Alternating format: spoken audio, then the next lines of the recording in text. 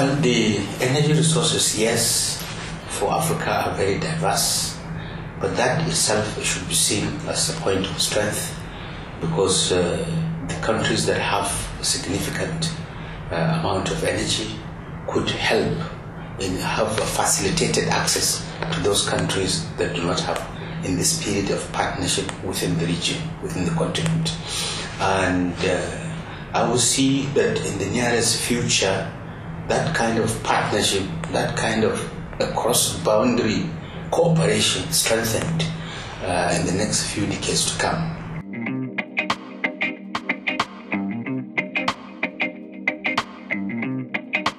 The World Energy Council's motto is promoting sustainable energy for the greatest benefit of mankind. And in that regard, World Energy Council gets together uh, African countries together under the African Regional Meeting of the Council, for which currently I'm the Vice Chair in charge of that region. And we do, uh, as it were, open the eyes of the various countries that are appearing to lag behind so that they can move towards sustainable energy solutions for their peoples. We uh, let them know that uh, of the global initiatives that are promoting entrenchment of energy planning, that are promoting the use of uh, less polluting uh, energy technologies, that are promoting entrenchment of renewables and energy efficiency and conservation, in addition to cleaner coal technologies and carbon capture and sequestration.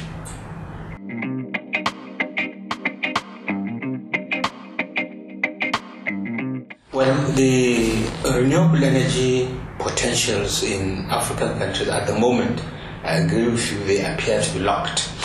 And to unlock them, we need a very powerful renewable energy master plans.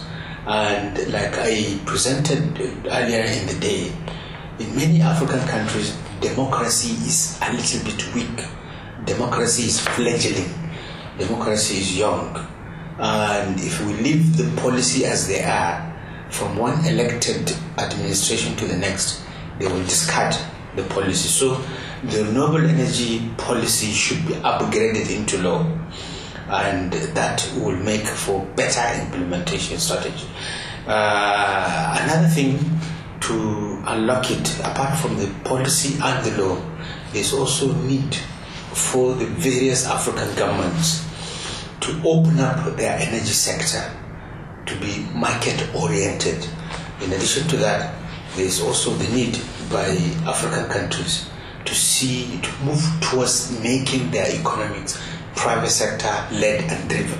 Once the economics are private sector led and driven, and you have open market orientation, then it will be completing the second leg of unlocking the renewables. So, on the one hand, we need renewable energy uh, policy, master plan, and the law. On the other hand, we need the private sector orientation. But I will quickly add that the there has to be some schemes like uh, the incentive schemes for the users of renewable energy and for the producers as well, as well as the feed-in tariff, as well as some fund to take care of the poor and low consumers that are not going to be uh, able to pay the full commercial rates.